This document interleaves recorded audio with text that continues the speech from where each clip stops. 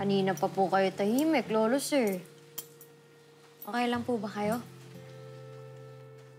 Ali, I cannot for the life of me chew and at the same time talk. Very good. Masungit na po kayo ulit. Okay na okay po yan.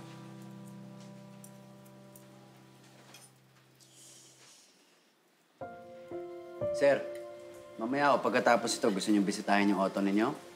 Kung gusto niyo lang ho, ah.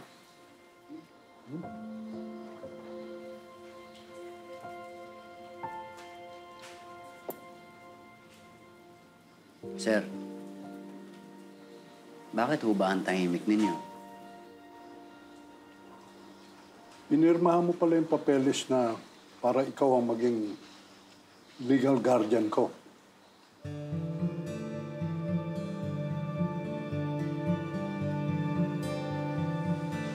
Opo, sir. Para matuloy ho yung desisyon ni Ali na makauwi na ho kayo dito.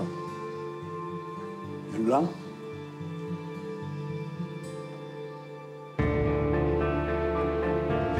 Yung pinirmahan mong papeles,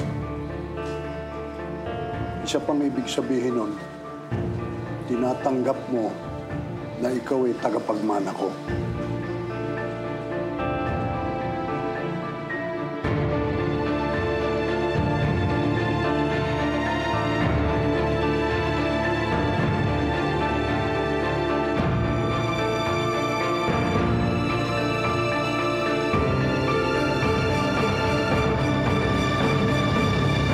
Hi everyone! Subscribe now to get the latest updates and videos of Too Good to Be True on YouTube.